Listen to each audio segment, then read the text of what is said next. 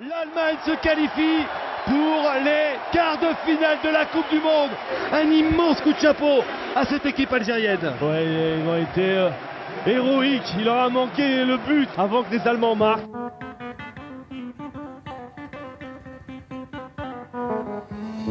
J'aimerais bien que tu me racontes ton histoire déjà. Pourquoi est-ce qu'on est là Bah, c'est un peu là où ça a commencé, hein. T'as commencé à quel âge 9-10 ans. Ouais. T'as toujours voulu être goal Non. Parce que les mecs ils veulent pas être goal au début, faut se Ah non, moi j'étais dégoûté. Mais un jour, euh, le mec il me punit, il me dit va au goal. Moi j'y vais et je commence à plonger dans tous les sens. Tu vois, je me roule par terre et je me, je- je- je me dis que j'adore ça en fait. Piqué Oh, ça arrive dans les mains de Raïs Samboli. Je crois que j'ai fait euh, deux ans ici et après je suis parti dans un autre club, Courbevoie. Après Courbevoie, je suis allé au Red Star. Le Red Star, c'était un, centre de formation mais où on dormait chez nous. On s'entraînait tous les jours, on allait à l'école toute la journée et le week-end, on jouait contre les, autres centres de formation. Là, après, il y a le papa de Karim Ziani, un joueur d'équipe de l'équipe nationale algérienne, qui vient et qui me dit Bon, voilà, viens, je vais t'emmener, on va aller faire encore des, des détections ailleurs. À 3, ça passe pas. À Auxerre, ça passe pas. Ils me disent Bon, il y a Marseille. Qu'est-ce que je vais faire à Marseille, tu vois?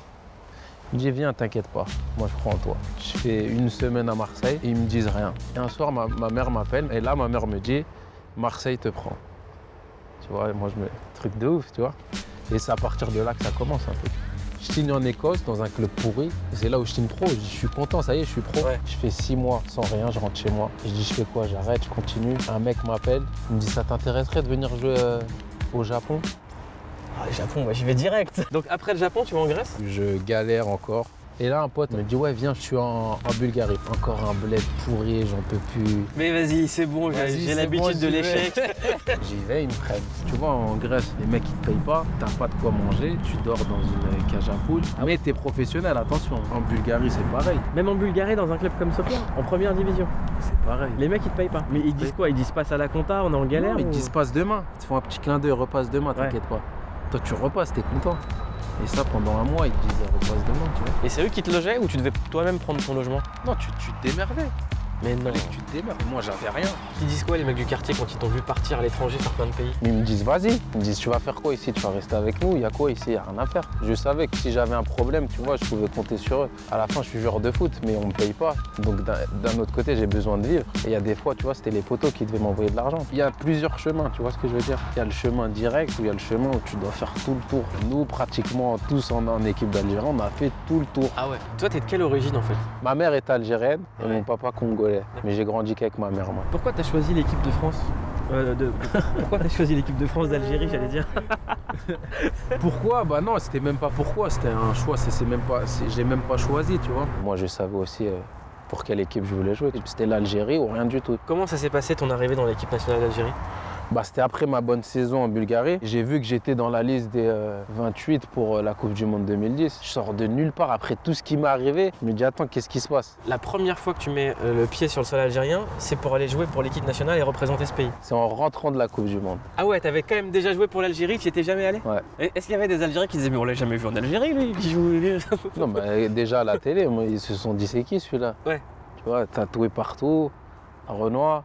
Je me dis, Mais qu'est-ce qui se passe? Moi aujourd'hui, pour ma part, on fait tous des erreurs quand on est jeune. Aujourd'hui, je les aurais pas fait, par exemple, tu vois. Mais par rapport à la religion, etc. Est-ce qu'il y a que des musulmans en équipe d'Algérie? Ouais. Pendant la Coupe du Monde, il y avait le ramadan. Ouais. Est-ce que l'équipe d'Algérie faisait le ramadan? Pas de réponse. Pas de réponse.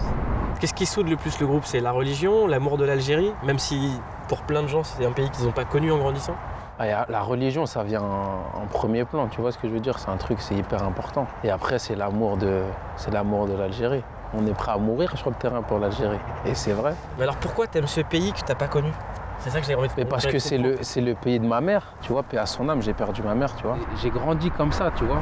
Malgré le fait que je sois jamais allé, j'ai grandi avec tout ça, ces valeurs, l'Algérie, avec que l'Algérie. Et pourquoi il y a cette folie autour de l'équipe de foot? Parce que c'est le- seul moment où, où on parle comme ça de l'Algérie dans le monde. Et tu sais, euh, c'est- dur la vie pour les jeunes aussi en Algérie. Et le seul moyen de s'exprimer, ça va être à travers nous aussi, parce qu'on les représente. Même si on n'a pas grandi là-bas, on est la jeunesse qui représente un peu l'Algérie, tu vois. C'est pour ça que je pense qu'il y a toutes ces, toutes ces émotions venant d'eux. Et les politiques, comment ils se comportent euh, par rapport à vous là-bas?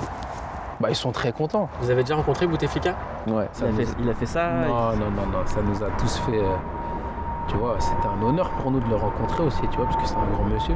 C'est un grand monsieur Bouteflika Pour moi, c'est un grand monsieur, il a beaucoup donné à l'Algérie. Est-ce que tu penses que le jeune euh, qui est en Algérie, qui doit acheter euh, son kilo de patates, euh, je sais pas combien de dinars, peut te dire tout efficace Moi, tu vois, tu vois, euh, la politique et tout ça, c'est Tu fais des- abstraction. Moi, voilà.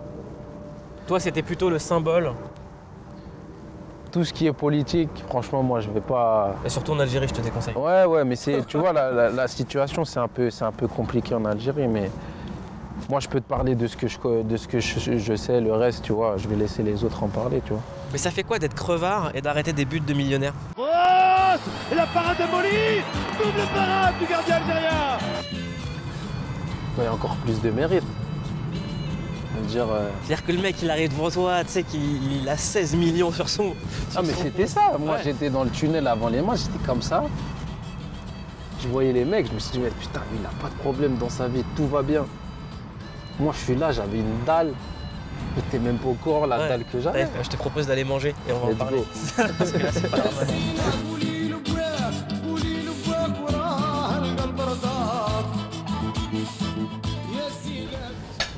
blaguer là.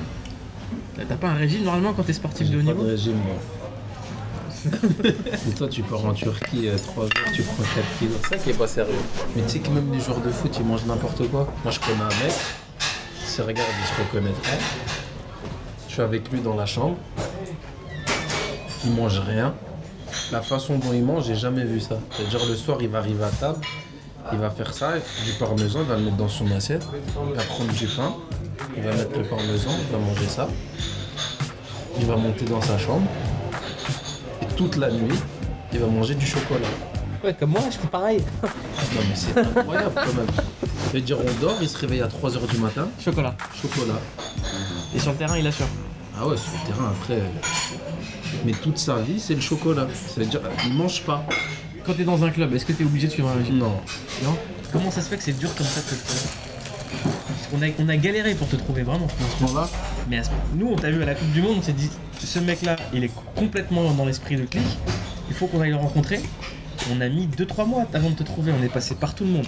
Les sponsors. Après, on est, on est allé voir un mec qui nous dit Ouais, on a des potes, ils ont une chicha. Des fois, il est là-bas. Ou il y a des mecs de l'équipe d'Algérie qui vont là-bas. Peut-être que.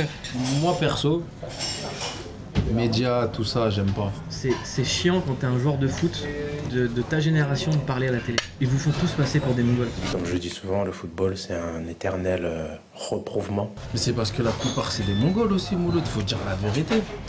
La plupart, ils se ressemblent tous aujourd'hui. Les joueurs de foot? Ouais, c'est pour ça que je préfère rester dans mon coin, tranquille. Et que tu fais pas d'interview? Non Mais Rihanna, elle a voulu te pécho. C'est qui Rihanna?